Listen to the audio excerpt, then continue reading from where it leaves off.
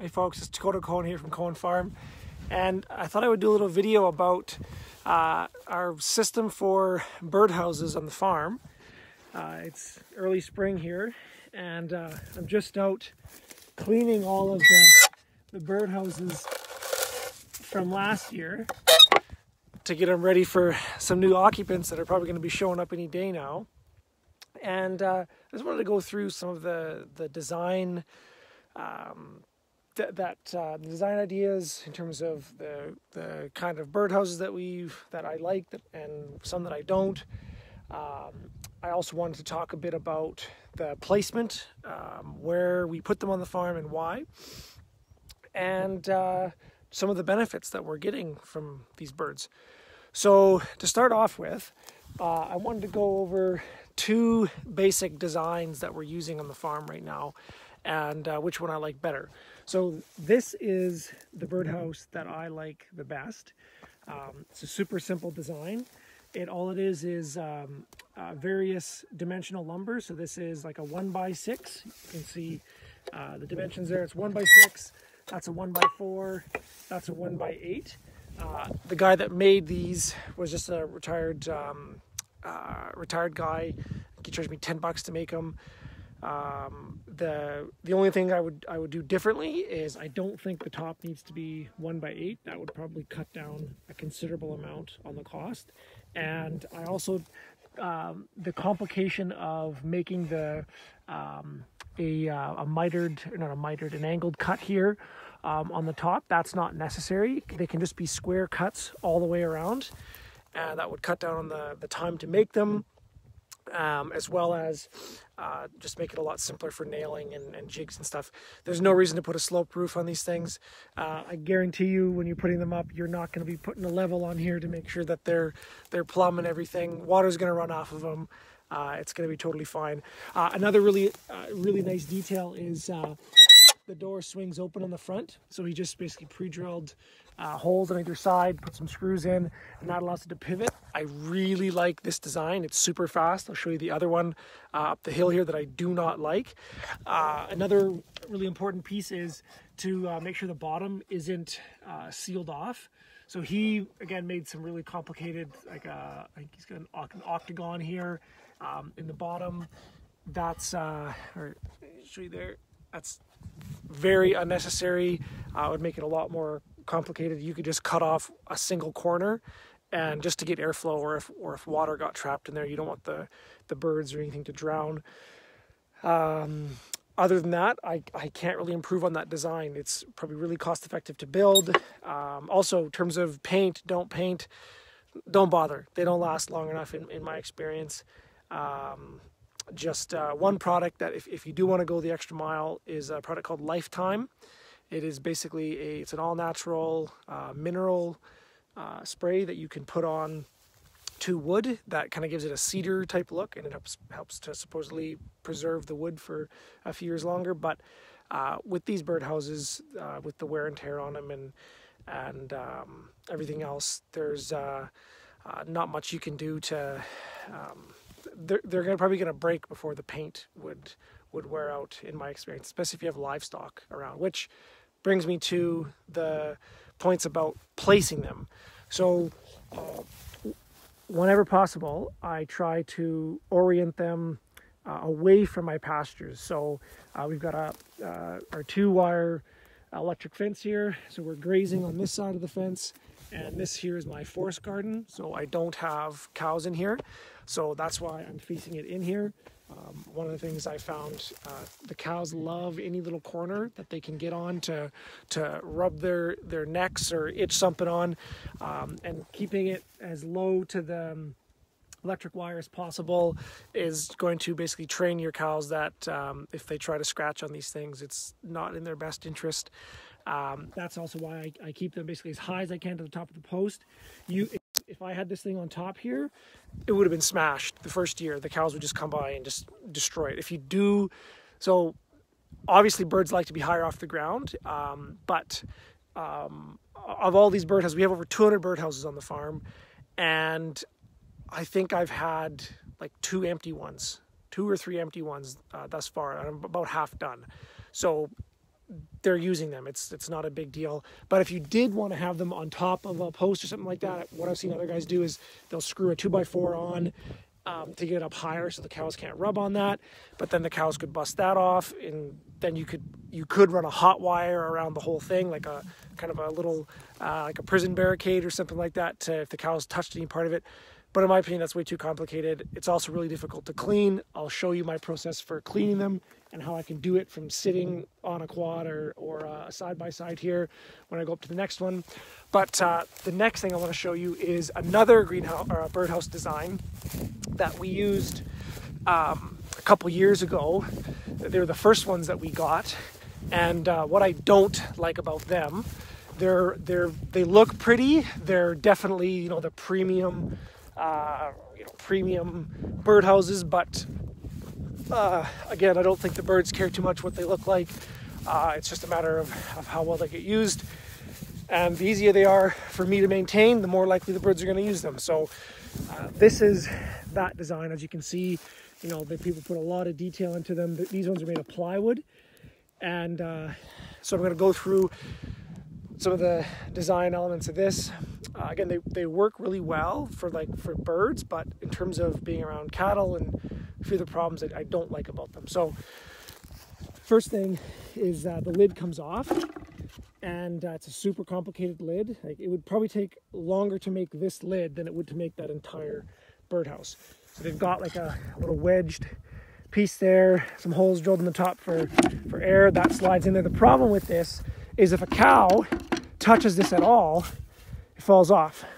Or um, even if it's, I've got some that are up where there's no birdhouses whatsoever, or no no cows that have access to it, and so the wind blows them off, and you lose the lid, and the birdhouse is worthless. And so this birdhouse would cost four or five times as much to make, and the lid goes and and you're done. Uh, in terms of cleaning them, uh, it seems like a really good idea, but it is uh, really expensive. Um, are not expensive. Well, it'll be expensive to make, but it's also a pain to clean. I'll show you. I, I can't clean this birdhouse from my side by side. So the bottom falls out, and that's just a little false bottom here. And then the idea is you take the top off and you push the whole kind of um, bird nest out, like this guy, which I've already done. Um, and so it it uh, it works, but again, it's it's way more complicated than it needs to be, and it has a little wire uh, attachment system here that um, you basically put the uh, the loops on. I'm trying to do this. Oh.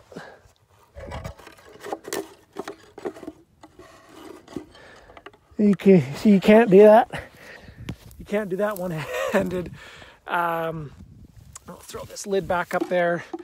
So again, th- that's a design that I don't like. It, it was designed specifically for bluebirds, um, based on all the specs. So I think it's an inch and um, was it inch and five sixteenths or inch and and uh, uh, I think that'd be that might be inch and five sixteenths. There's specs online for for the exact diameter hole for what uh, bird bird different birds like. Um, and uh, actually, that's another criteria I want to talk about. Here is um, uh, I try to put my birdhouses wherever there's a water tap. Um, in on this particular line, there isn't a tap here because um, it's a narrower field, and so I've got my tap spaced further apart. But uh, so in this field, it'd be like every second birdhouse would be a water tap for my livestock. So the birdhouses also serve as a demarcation element for it to help us figure out where our, our water taps are when we're uh, going to hook up our tank for rotationally grazing our cows, um, and because uh, they get they get buried in grass and all sorts of stuff like that. So the you can see two different designs there. Uh, they both get about the same occupancy rate. One the, the these dimensional lumber ones that aren't painted would be much easier to build. Um, they're also, as you'll see, way easier to clean out. So I'm gonna hop on uh, my uh, my side by side here, and I'm gonna drive around and uh, clean that birdhouse out over there. And that's basically what I've been doing. So you can see, you know, we've got these um, these systems of swales um, that are uh, we've got fences in between them, and uh, I try to keep the birdhouses like a few hundred meters apart from each other.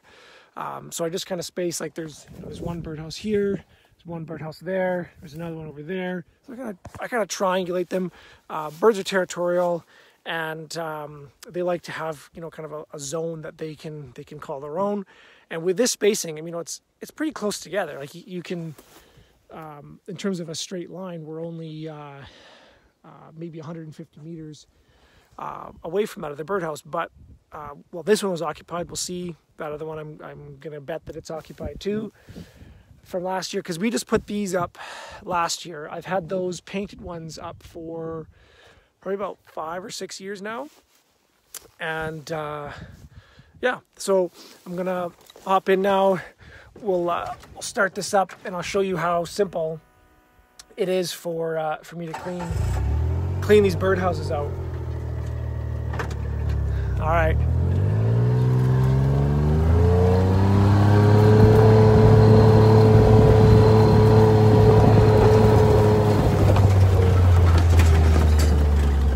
So just drive up, get as close as you can to the fence, reach out, grab that thing, throw it on the ground, close the lid, and you're done.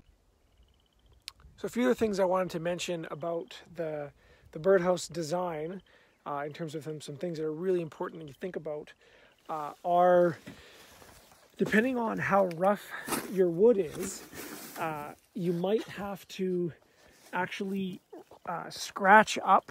You can see I, I did it here. You might have to scratch up the, um, the uh, back side of the, the door um, leading up to the entranceway one of the problems that I noticed with these birdhouses made with dimensional lumber, because they're planed, um, they're they're quite smooth, and um, the the last year we put these up, uh, we actually had some baby birds die inside the birdhouses because they couldn't get out once they were full grown, um, and actually full grown birds as well. We had a couple. There was one that had two or three. It was early in the year that had uh, two or three um, uh, swallows dead in a single box as I was kind of going around to check to see you know how the birds were liking them, and so then I had to quickly go and, and rough them all up. Um, after I set them up, it, was, it took a, a, long time, but after that, I, I, haven't had any problems with birds dying inside. But it's just because they go in and they can't fly inside. They can't because um, the, the box is too small, so they need to actually have something rough they can get their little toenails into. Um, and so they they weren't able to get up. So that's really important. Is is you make some kind of a saw kerf. Ideally, you would do this before you built it, and you could make a saw kerf, or I just took a chisel and just literally just dragged it across. That'd probably be faster than using a saw. Um, so that's a really important piece to um, to remember. Uh, and then here's here's another one of the um, uh, one of our our main water lines with a tap on it um, that we can we can open up. And so I try to put them as close as I can to um, to a birdhouse. The birdhouse acts as a demarcation device, and then I just use some scrap uh, tin to keep the grass around the the uh, pipeline down so that it's nice and visible, and um, we don't hit it with the tractor or something like that with the haybine. And that's been working really well. So I want to talk a bit about the benefits. Why why why go through all this trouble? Why do you have 200 birdhouses that cost uh, like literally thousands of dollars to put this up on our place? Um, and uh, we have over so we have over 200 birdhouses on about about 250 acres. Most of them are concentrated on our home quarter section here. Um, probably can't see them all around, but, but essentially there is a birdhouse um, within two, two to 300 meters of every location on our home quarter. Um, and uh, we've, we've, concentrated our efforts there, and, and, we'll be kind of expanding out to our uh, some of our land that's that's further away from from our home.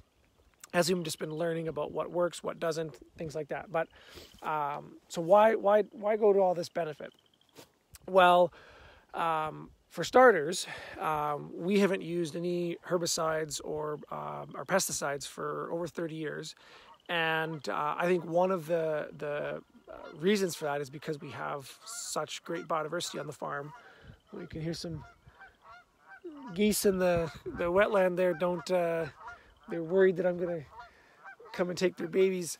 Um, so yeah, one of the reasons why we don't have to use antiparasiticals for our, our cows or any pesticides or anything on our crops is because we have a lot of bird diversity. Uh, our, the target species that we're going after with these birdhouses uh, would ideally be bluebirds. Um, I've only ever seen like two or three uh, bluebirds on the farm since we started doing this, but um, we get a lot of tree swallows and wrens. Those those are the two most common uh, birds that we get in these nest boxes and they are both uh, uh, insectivorous birds, um, and uh, they eat literally thousands and thousands of bird uh, insects every single year. Um, which help keep you know the the pests down on our cows and from our crops and uh, all that good stuff. So, which is another reason why I like to put the bird houses and my livestock watering um, systems together. Is uh, the cows always concentrate their efforts, uh, regardless of how close. Like, there's there's another water tap just over by that second birdhouse over there, and so their their water taps are quite close together. Um, so the cows never have to go very far, uh, and they're never using more than one tap at once. That's just so that we can rotate them and put up a back fence, so they don't go back and overgraze uh, pasture from uh, um, for more than. Uh, we, they only have access to pasture for for um, uh, four days. Uh, we move them every day, but then we back fence them every fourth day so that they can't go back and graze the new growing plants. And so that's how we space our, our water taps out. And then that also kind of works in, um, it's, it works out to be about 400 meters between water taps, which means two birdhouses at 200 meters apart, roughly.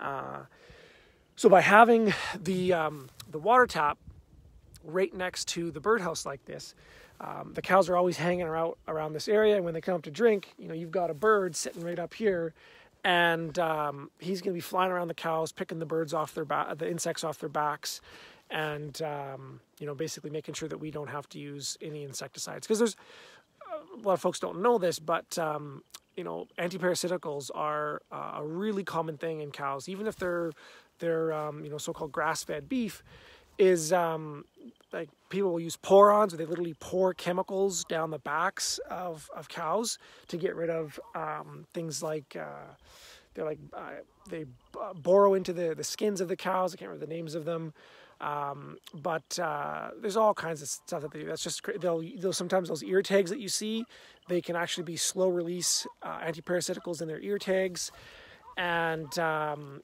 they'll give uh, you know internal parasites antiparasiticals that they eat.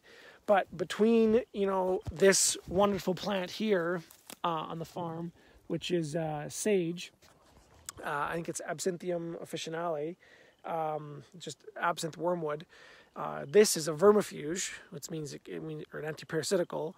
And um, so the cows can actually use this to, to treat their own parasites internally. And the birds here uh, take care of all of the um, uh, parasites from from outside.